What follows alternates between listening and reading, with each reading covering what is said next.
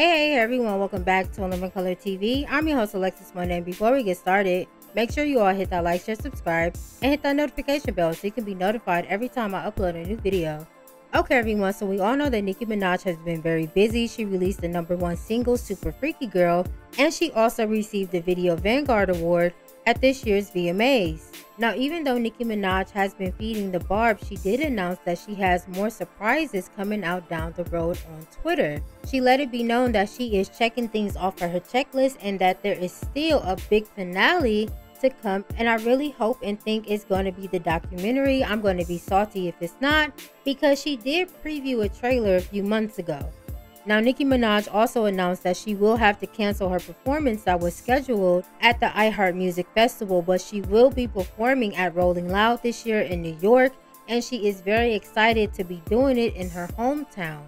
Now, it seems like Nicki is just full of surprises right now because she did announce that she will be releasing a Queen's remix to her single Super Freaky Girl, and it also seems like there will be other artists that will be featured on this single because Nicki Minaj is shouting out other states. She shouted out Boston, New York, Atlanta, Miami, and also Chicago. Now, Nicki Minaj did preview the song on her Instagram page.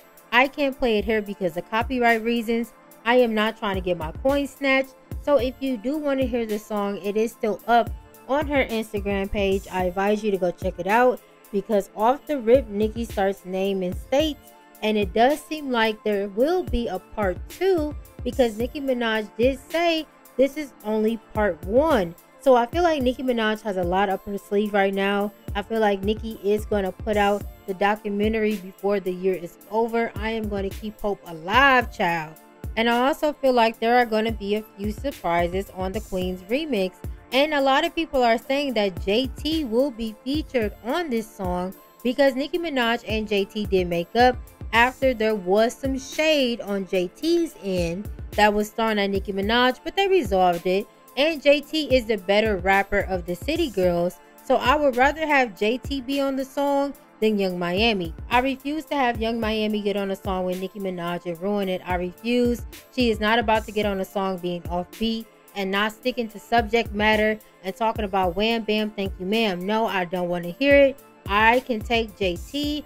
I will take Amaretta, a Lakeyah, a Flo Milli, a Doechii. I will even take Akbar over Yung Miami getting on the track with the queen of rap and ruining the whole song. Caresha, please, you can keep that. But you let me know how you feel about everything down below. Thanks again for joining me for another video. And until next time, bye.